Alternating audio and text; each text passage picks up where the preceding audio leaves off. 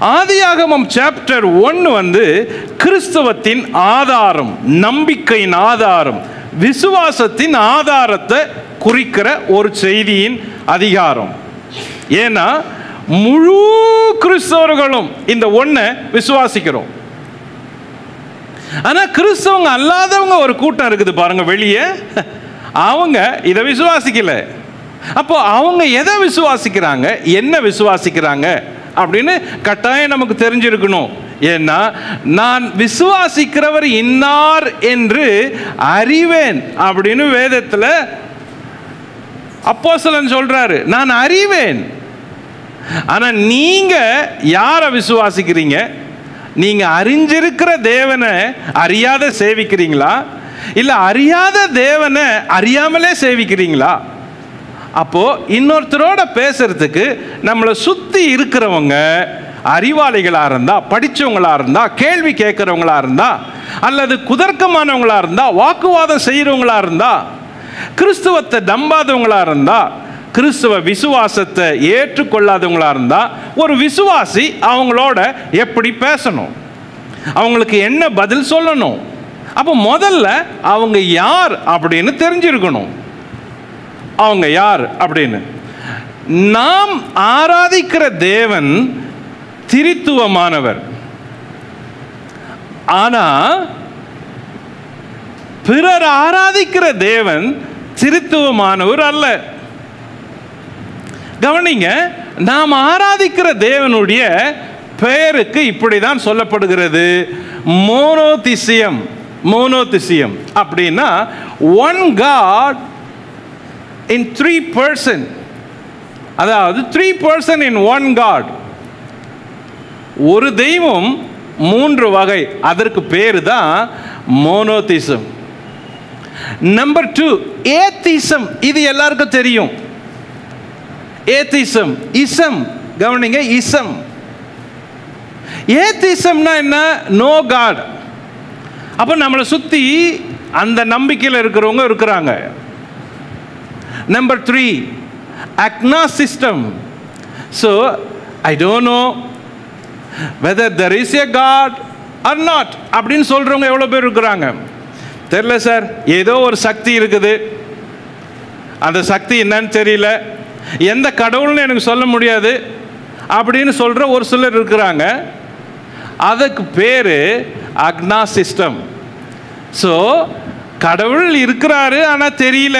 எனக்கு தெரியல அப்படின்னு சொல்கிற ஒரு group number four animism spirit ஆவிகள் தான் தெய்வம். எவ்வளோ பேர் அப்படி நம்புகிறாங்களே ஆவியல்னா தெய்வம். எவ்வளோ கோடிக்கணக்கான ஆவிகளை நம்புறவங்க இருக்கிறாங்க. அதுக்கு பேர் அனிமிசம் நம்பர் ஃபைவ் பாலித்தீசம் பாலித்தீசம்னா மெனி காட் அதிகமான கடவுள் எண்ணிக்கைக்கு அழகான கடவுள். அதையும் நம்புறவங்க இருக்கிறாங்க. அப்போ அதுக்கு பேர் பாலித்தீசம் ஆனால் ஒரு கடவுள் கிடையாது. ஸோ அந்த நம்பிக்கையில் இருக்கிறவங்களும் இருக்கிறாங்க. நம்பர் சிக்ஸ் டியூலியாசிசம் அப்படின்னா டூ காட்ஸ் ரெண்டு கடவுளுங்க. ஒருத்தர் ஆக்குறவர் இன்னொன்று அழிக்கிறவர். ஒருத்தர் உருவாக்குறாரு இன்னொருத்தர் அழிக்கிறாரு. ஸோ ரெண்டே கடவுள். அப்படி சொல்கிற நம்பிக்கையும் இருக்குது. இன்னொன்று நல்லதுக்கெல்லாம் ஒரு கடவுள் கெட்டதுக்கெல்லாம் ஒரு கடவுள். அப்படி சொல்கிறவங்களும் இருக்கிறாங்க. ஸோ அதுக்கு பேர் டியூலியாசிசம் நம்பர் செவன் தேசிசம் அப்படின்னா கடவுள் இருக்கிறாருங்க ஆனால் எதையும் கண்ட்ரோல் பண்ணுறது இல்லைங்க அவர் அப்படியே விட்டுறாரு. அவர் தானாக நடக்குது எல்லாம். கடவுள் யாரையும் ஃபோர்ஸ் பண்ணுறதில்ல எதையும் கண்ட்ரோல் பண்ணுறதில்ல எல்லாம் இயற்கையாக நடக்குதுங்க. அதுக்கு பேர் தான் தியோசிசம் number eight humanism man is God எவ்வளோ பேர் இருக்கிறாங்களே? மனுஷனை கடவுளாகிட்டு அவனை கடவுள்னு சொல்லி நம்புகிறாங்களே மனுஷன் செத்துட்டா கடவுளாக்கிட்டு கல்லறையில் போய் உட்காந்து தியானம் பண்ணுறாங்களே ஸோ அதுக்கு பேர் என்ன? ஹியூமனிசம் அதையும் கடவுளா அப்படின்னு நினச்சிருக்கிறான். அப்புறம் number nine rationalism reason is God உன் வாழ்க்கையில் என்ன நடக்குதோ அது உன் தலைவிதி. உன் தலையில் என்ன எழுதி இருக்குதோ அதாங்க நடக்குது. அந்த கடவுள் என்ன எழுதி வச்சிருக்கிறானோ அதான். அப்போ அந்த தலைவிதியை மாற்றுறதுக்கு நீ யாரெல்லாம் கும்பிடலாம் யாரெல்லாம் வழிபடணும். ஸோ அதை யாருமே மாற்ற முடியாது. உன் தலைவிதியை யாரும் மாற்ற முடியாது. எழுதப்பட்டது எழுதப்பட்டது.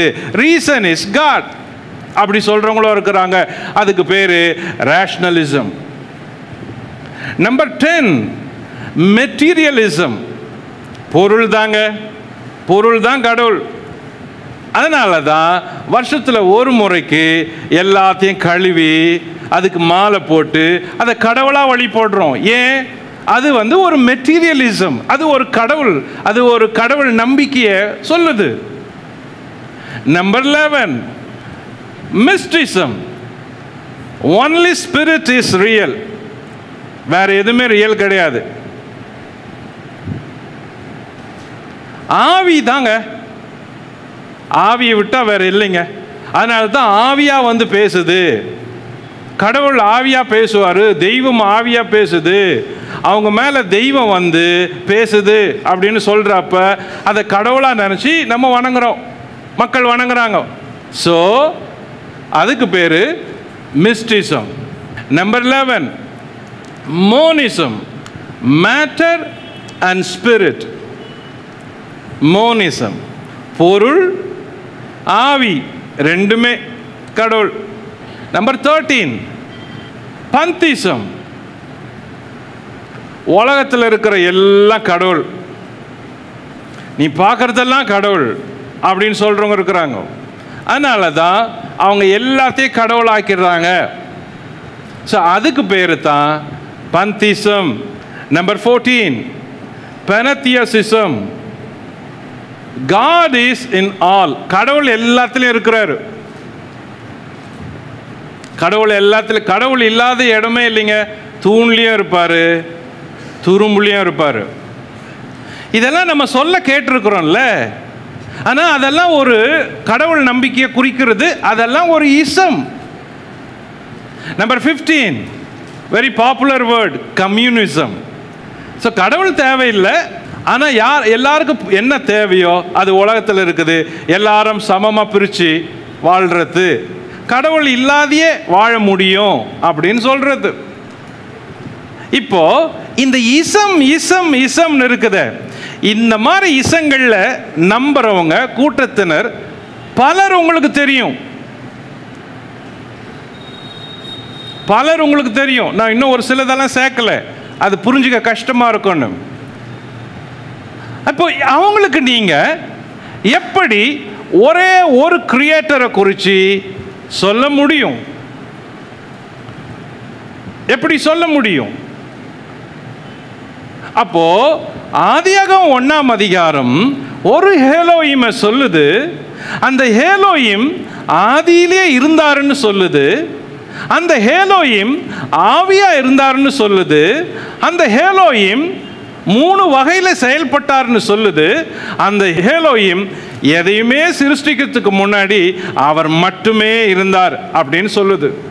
யோவான் நாலு இருபத்தி நாலில் சமானிய பெண்ணிடத்தில் இயேசு பேசுகிறப்ப இயேசு சொன்னார் தேவன் ஆவியா இருக்கிறார். சி அது ரொம்ப முக்கியம். The Creator. The creator God is spirit அப்போ ஆதியிலே ஹேலோயிம் அவர் மட்டுமே இருந்தார் ஆவியா இருந்தார் மூணு விதமாக இருந்தார் தனித்தன்மையாக இருந்தார் எல்லாவற்றையும் படைக்கிறதுக்கு முன்னாடி. இப்போ உங்கள் மூளை கேட்கும் இதுக்கு முன்னாடி என்ன இதுக்கு முன்னாடி என்ன? தாத்தாவுக்கு முன்னாடி தாத்தாவுடைய அப்பாவுக்கு முன்னாடி அப்பாவுடைய அப்பாவுக்கு முன்னாடி போய்கிட்டே இருந்தா எங்கேயோ ஒரு இடத்துல த ஃபஸ்ட் மேனை மீட் பண்ண வேண்டியது வரும். ஸோ அதுக்கு முன்னாடி காட் அலோன் தேவன் மட்டுமே இருந்தார். உங்களை சுற்றி அந்த தேவனை தெரியாதவங்க இருந்தாங்கன்னா அவங்க இந்த வகையில் ஏதோ ஒன்றை நம்புறவங்களா இருப்பாங்க. அவங்களுக்கு வேற எதுவுமே தெரியாது. ஒரு தெய்வம் ஹெலோயிம் அப்படின்னு ஒருத்தர் இருக்கிறாரு அப்படின்னு புரிஞ்சிக்க முடியல. ஏன்னா அவங்கள இந்த ஏதோ ஒரு இசம் போட்டு அழுத்தி வச்சிருக்கு.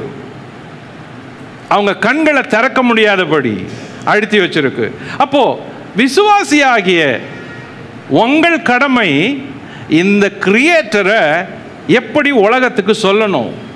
எப்படி ஜனங்களுக்கு சொல்லணும்? எப்படி அவங்க கண்களை திறக்கணும்? அதுதான் நாம் படிக்க வேண்டிய தெரிந்து கொள்ள வேண்டிய முதல் பாடம்.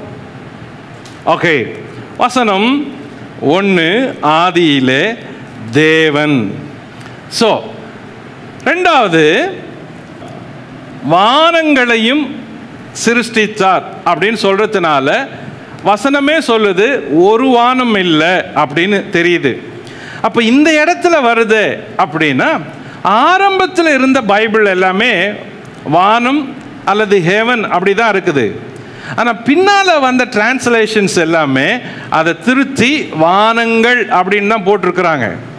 அப்போது உலகத்தில் ஆரம்பத்தில் தேவன் சிருஷ்டிக்கிறப்ப வானங்களையும் சிருஷ்டித்தார்.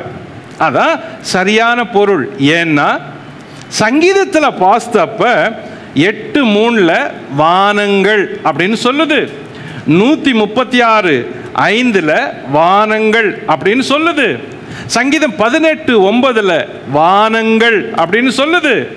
பத்தொன்பது ஒன்றில் வானங்கள் அப்படின்னு சொல்லுது. சங்கீதம் முப்பத்தி ஆறு ஐந்தில் வானங்கள் அப்படின்னு சொல்கிறதுனால அப்போ பல வானம் இருக்குது அப்படின்னு குழு கிடைக்குது.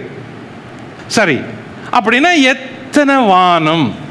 அப்படின்னு அடுத்த கொஸ்டின் வானங்கள்னு சொல்லுது. அப்படின்னா எத்தனை வானங்கள்? அப்படின்னு. அதுக்கு ஒரு இடத்துல ஒரு குழு கிடைக்குது. ரெண்டு குருந்தியர் பன்னெண்டு ஒன்று. ரெண்டு குருந்தியர் பன்னெண்டு ஒன்று. அங்க வாசிப்போம். மேன்மை பாராட்டுகிறது. எனக்கு தகுதி அல்லவே. ஆகிலும் கர்த்தர் அருளிய தரிசனங்களையும் வெளிப்படுத்தல்களையும் சொல்கிறேன். ரெண்டாம் வசனம். கிறிஸ்துவுக்குள்ளான ஒரு மனுஷனை அறிவேன். அவன் பதினாலு வருஷத்துக்கு முன்னே மூன்றாம் மானம் வரைக்கும் எடுக்கப்பட்டான். ஓகே கிறிஸ்துவுக்குள்ளான ஒரு மனுஷன் அறிவன். அவன் பதினாலு வருஷத்துக்கு முன்னால மூன்றாம் வானம் வரைக்கும் எடுத்துக்கொள்ளப்பட்டான் அப்படின்னு சொல்லுது. ஸோ இந்த ஒரு இடத்துல கவனிச்சா மூணு வானம் இருக்கிறத புரிஞ்சிக்க முடியுது. அப்போ ஆதியிலே தேவன் வானங்களையும் பூமியும் சிருஷ்டித்தார். சரி இங்க வரப்ப வானங்கள் அப்போ எத்தனை வானங்கள்? அப்போ இங்க மூணு வானங்கள் இருக்குது. இந்த மூணு வானங்கள்ல முதல் வானம் ரெண்டாவது வானம் மூணாவது வானம் அப்படின்ற ஸ்டெப்ஸ் இருக்குது. இப்போ இந்த முதல் வானம் ரெண்டாவது வானம் சிருஷ்டிப்பதான் இந்த முதல் அதிகாரம் சொல்லுது ஏன்னா மூன்றாவது வானத்தில் தான் தேவன் இருக்கிறாரு. ஹேலோயும் இருக்கிறாரு. அது பரலோகம் அவர் வீற்றிருக்கிற இடம். ஆக கிறிஸ்துவுக்குள்ளான ஒரு மனுஷன் ஆவிக்குள்ளாகி மூன்றாம் வானம் வரைக்கும் எடுத்துக்கொள்ளப்பட்டது பரலோகத்தில் அவன் ஆவிக்குள்ளே போனால் அது மூன்றாவது வானம்னா அப்போ அதுக்கு கீழே ரெண்டாவது வானம் ஒன்றாவது வானம் அப்படின்னு இருக்குது. அப்போது உண்மையாக புரிஞ்சிக்க வேண்டியது இங்க மூன்று வானங்கள் இருக்குது. சரி முதல் வானம் என்ன அப்படின்னா முதல் வானம் நம்ம பார்க்குற ஆகாயம் மேகம் மழை பொய்கிற வானம். இதுதான். இந்த வானத்து இந்த ஆகாயத்தில் தான் விமானங்கள்லாம் பயணிக்குது மேகங்கள் பயணிக்குது தண்ணீர் கொட்டுது மழை வருது. ஸோ இதுதான் நாம் பார்க்குற முதல் வானம். ரெண்டாவது வானம்ன்றது நம்ம பார்க்க முடியல. ஆனால் பார்க்க முடியாத அதிசயங்களை கொண்டிருக்கிற ஆகாய மண்டலங்கள்னு சொல்கிற பால் வீதி நிறைஞ்ச வானம். அதில் தான் பெரிய பெரிய ஆகாய மண்டலங்கள் சூரியன் நட்சத்திரங்கள் எல்லாம் அதில் இருக்குது. இன்னும் அதை பலதை பார்க்கல. கண்டு கண்டுபிடிக்கல. ஆனால் அது ஆகாயத்தில் இருக்குது. ஸோ ரெண்டாவது வானம்ன்றது ஆகாய மண்டலத்தில் இருக்கிற வான மண்டலங்கள் அப்படின்னு சொல்றது. மூன்றாம் வானம் அப்படின்னு சொல்றது பரலோகம். தேவன் வீற்றிருப்பது அப்படிதான். அப்படிதான் மூன்றாவது வானம். இப்போ கவனிப்போம். ஹேலோயிம் கவனிங்க வானங்கள். மூன்று. முதல் வானம் மேகங்கள் இருக்கிற வானம். ரெண்டாவது வானம் பால் வீதி இருக்கிற வானம். மூன்றாவது வானம் பரலோகம் இருக்கிற வானம். இப்போ ஆதியாகும் ஒன்றாம் அதிகாரத்தில் பரலோகத்தை குறித்து பேசலை. ஆனால் ஏன்னா அது தேவன் மட்டுமே வீட்டில் இருக்கிறாரு ஆனால் சிருஷ்டிப்பை குறித்து பேசுகிறப்ப இந்த முதல் வானங்களையும் முதல் வானத்தையும் ரெண்டாவது வானத்தையும் குறித்து தேவன் எப்படி சிருஷ்டித்தார் அப்படின்னு பேசுது. சரி இந்த முதல் வானத்தை பார்த்தோம் ரெண்டாவது வானத்தை பார்த்தோம் மூணாவது வானத்தை பார்த்தோம். இப்படி தான் அந்த முதல் வானமும் ரெண்டாவது வானமும் மூணாவது வானமும் இருக்குது. கவனிங்க. முதல் வானம் நம்ம இருக்கிற இந்த அட்மாஸ்பியர் இதுதான் ஃபஸ்ட் ஹெவன் இதுக்குள்ள தான் பறவைகள் பறக்குது விமானங்கள் பறக்குது மழை பொய்யுது. ஆனால் இதுக்கு மேலே ஒரு ஆகாயம் இருக்குது வானம் செகண்ட் ஹெவன் ஸ்டார்ஸ் இருக்குது ஒரு ஸ்டாரை நம்ம கிட்ட போய் பார்க்க முடியல. சூரியன் இருக்குது ஒரு சூரியனையும் யாரும் இன்னைக்கு போய் கிட்ட பார்க்கல. பல மண்டலங்கள் இருக்குது கேலக்சிஸ் இருக்குது யாரும் போய் பார்க்கல. ஸோ இதுவும் தேவன் படைச்சது ரெண்டாவது வானம் மூன்றாவது வானம் பரலோகம். ஸோ வானங்களையும் படைத்தார். ஆதியிலே ஹேலோயும் வானங்களையும் பூமியும் படைத்தார். அதுதான் சரியானது லிட்ரலானது வேதத்தின்படி உண்மையானது. ஏன்னா மூணு வானம் இருக்கிறத புரிஞ்சிட்டு பவுலும் அதை ஆத்தரைஸ் பண்ணுறாரு இப்போது இந்த ரெண்டு வசனத்தில் நம்ம படிக்க வேண்டியது வானங்களையும் பூமியும் தான். அறிவியல் பூர்வமாக இந்த ஒரு அதிகாரம் சந்திக்க வேண்டிய செய்திகள் பல இருக்குது. ஒவ்வொரு அதிகாரம் வெவ்வேறு கோணத்தில் நம்ம பார்க்கணும். அதனால் ஃபஸ்ட்டு சாப்டர் அதை நம்ம பார்க்க வேண்டிய விதம் வெவ்வேறு விதத்தில் பார்க்கணும். செகண்ட் சாப்டர் டோட்டலாக வித்தியாசம் இருக்கும். தேர்டு டோட்டலாக ஸோ ஒவ்வொரு சாப்டருடைய மூவும் டாப்பிக்கும் ரிசர்ச்சும் வெவ்வேறு கோணத்தில் இருக்கிறபடினால முதல் அதிகாரத்தை நம்ம படிக்க வேண்டிய விதம் கொஞ்சம் அறிவியல் பூர்வமாகவும் இருக்க வேண்டியது இருக்குது கணித பூர்வமாகவும் இருக்க வேண்டியது இருக்குது பைபிள் பேஸ்டாகவும் இருக்கணும் ஃபெய்த் பேஸ்டாகவும் இருக்கணும். ஆகையினால ஓகே இனிமேல் ஜெனிசிஸை இப்படி இப்படி தான் நடத்துவாரோ அப்படின்னு நினச்சிடக்கூடாது கவனிங்கும் ஸோ முதல் வானம் நமக்கு தெரிஞ்ச வானம். இப்போ ரெண்டாவது வானம். கவனிப்போம். இதில் இந்த பூமியிலிருந்து மேலே போகிறோம் மேலே போய்கிட்டே இருந்தால் கீழே பார்த்தா எப்படி இருக்கும்? ரொம்ப உயரத்துக்கு போய் நீங்கள் ஒரு ஐநூறு கிலோமீட்டர் உயரத்துக்கு மேலே போனால் கீழே பூமி இந்த கோணத்தில் தெரியும்.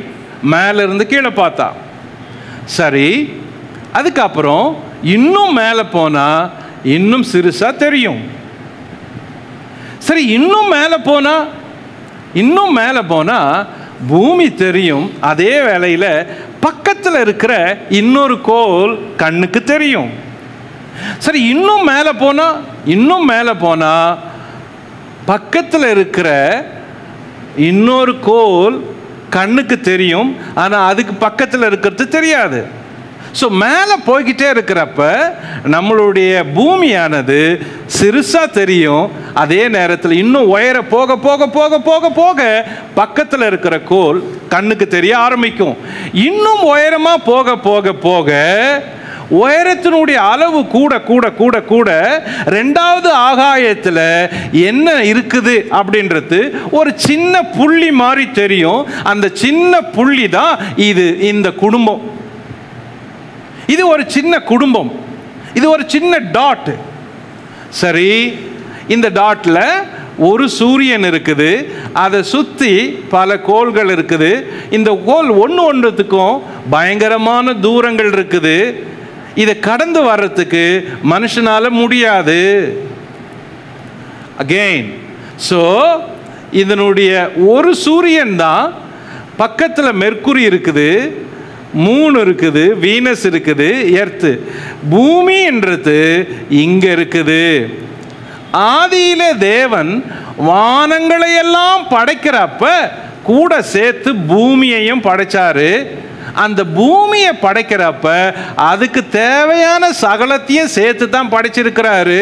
ஸோ இது ஒரு ஃபேமிலி ஏன்னா இந்த பூமி அந்தரத்தில் தொங்குது. இதுக்கு எந்த சப்போர்ட்டும் கிடையாது. யாரும் இதை தாங்கி நிற்கல அப்போ இவ்வளோ பெரிய பூமியானது அந்தரத்தில் இருக்கிறப்ப அதுக்குரிய சகலத்தையும் தேவன் சேர்த்தே படைக்கிறாரு. The creator ஞானமுள்ளவர்.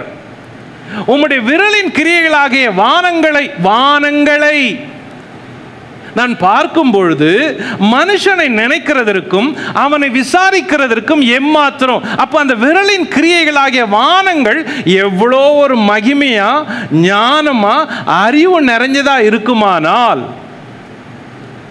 அது தேவனுடைய சிருஷ்டிப்பை வளர்க்குது. ஓகே மேலே போகிறோம் போகிறப்ப ஒவ்வொரு கோலாக தெரியுது அப்போ பூமியானது சிறுசாயிட்டு மற்ற கோள்கள் கூட தெரிய ஆரம்பிக்குது. இன்னும் மேலே போகிறப்ப எல்லாமே சிறுசாக தெரியுது இன்க்ளூடிங் சன் சரி இன்னும் மேலே போகிறப்ப முழு குடும்பமும் தெரியுது. ஆனால் எது எது எங்கே இருக்குதுன்னே தெரில சரி இன்னும் மேலே போகிறப்ப நீள்வட்டத்தில் பந்துகள் போல இருக்கிற ஒரு நீள்வட்ட பாதையில் சுற்றுற ஒரு சின்ன வெளிச்சம் தான் தெரியுது. இன்னும் மேலே போகிறப்ப எதுவுமே தெரியல. வெறும் நீலம் கலரில் வழி வெளிச்சங்களை கலரி களைச்சி விட்ட மாதிரி தெரியுது. ஆனால் இது இதற்கு பேர் தான் கேலக்ஸி அப்படின்னு பேர். அப்போது இது சின்ன ஒரு குடும்பம். இந்த குடும்பத்தில் இன்னும் மேலே போக போக போக போக கண்ணுக்கு ரெண்டாவது வானத்தில் இருக்கிற கோள்கள் இப்படி தெரியும். இன்னும் மேலே போகிறப்ப இப்படி தெரியும். அது எப்படி இருக்குதுன்னே தெரியாது.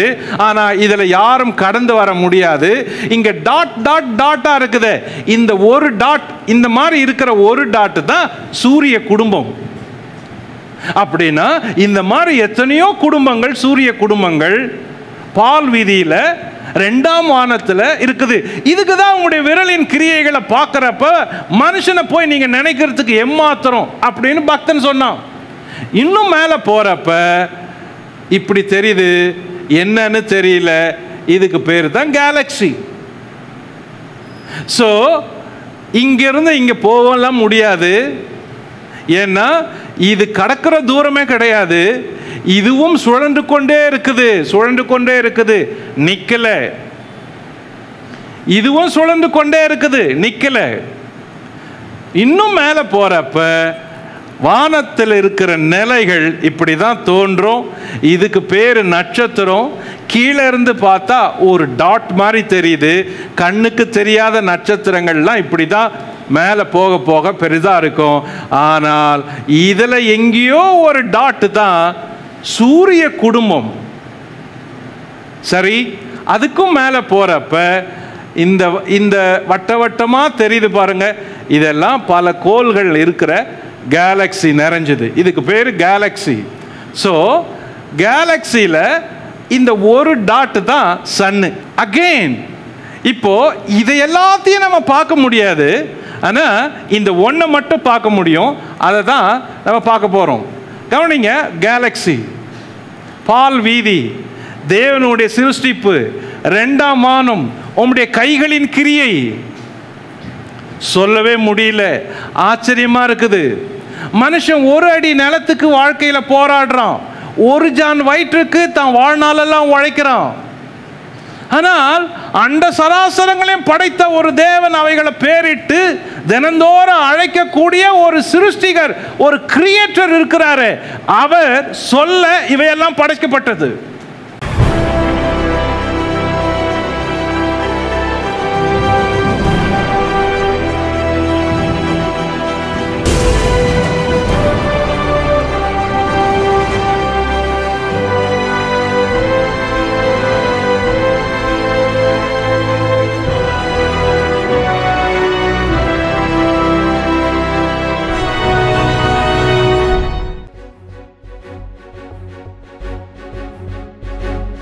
நாம் பாவிகளாயிருக்கையில் கிறிஸ்து நமக்காக மறித்ததினாலே தேவன் நம்மேல் வைத்த தமது அன்பை விளங்க பண்ணுகிறார்.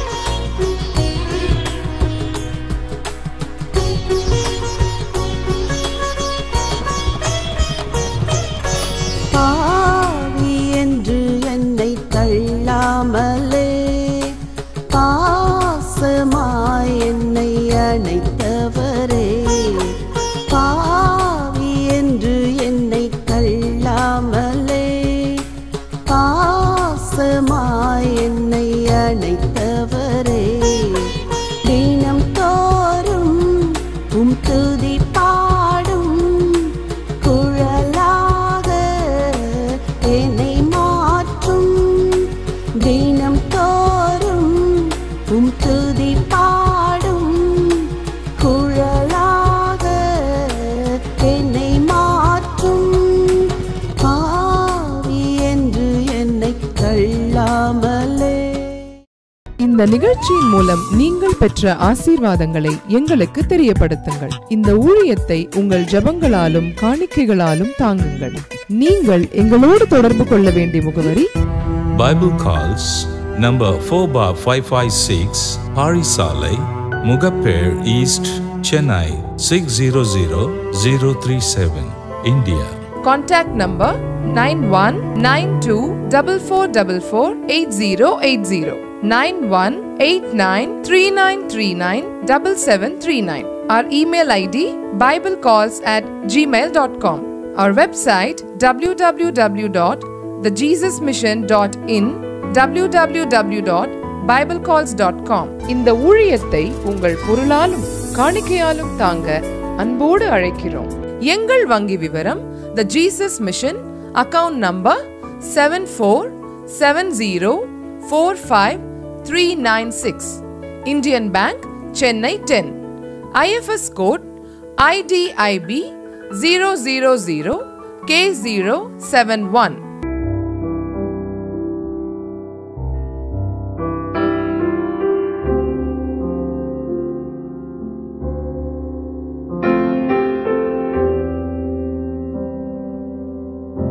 எமது நிகழ்ச்சிகளை தொடர்ந்து பைபிள் டிவி வெப் டிவியிலும் காணத் தவறாதீர்கள். Website W W W dot Bible TV dot TV. இறைவன் இயேசு உங்களை ஆசீர்வதித்து காப்பாராக.